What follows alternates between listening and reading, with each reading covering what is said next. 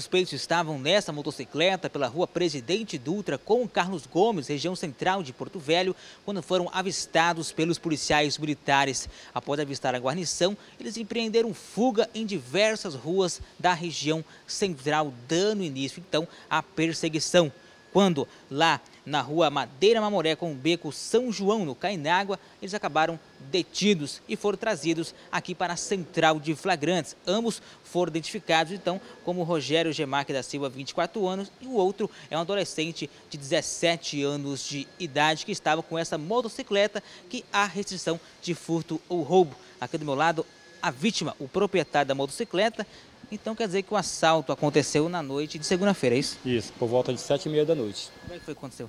Eu estava trabalhando numa bancada, fazendo uma pintura de um caminhão, né, da, de uma empresa, e eles me abordaram, pegaram no meu pé né, e, e mandaram eu descer rapidinho, calado, não gritar, não fazer escândalo, que era um assalto. Os dois armados, e já me pegou pela camisa e já saiu me arrastando para dentro de casa, e renderam eu e a minha esposa.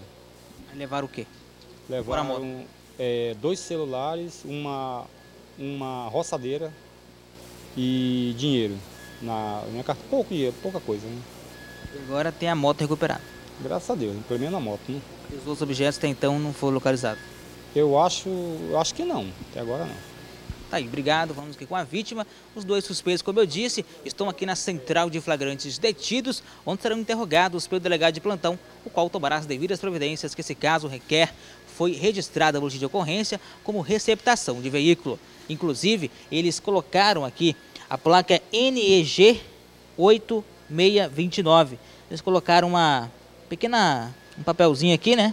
Uma, uma, uma fita isolante pra, como se fosse um 8829, para tentar enganar os policiais militares que conseguiram aí localizar esses dois suspeitos e eles que agora irão ficar à disposição da justiça.